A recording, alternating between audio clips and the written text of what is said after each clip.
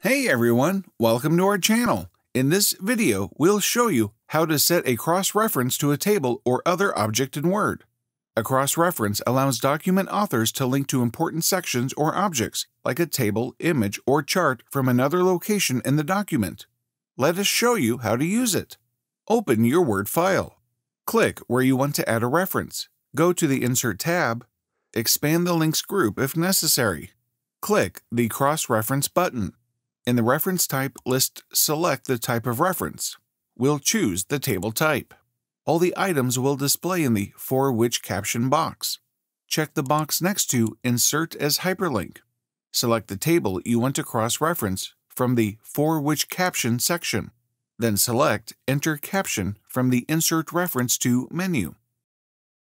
Click the Insert button, then close the cross-reference dialog box. The cross-reference is inserted. Control-click to jump to the table you cross-referenced. Isn't it easy? What other tips do you want to know? Let us know in the comments below.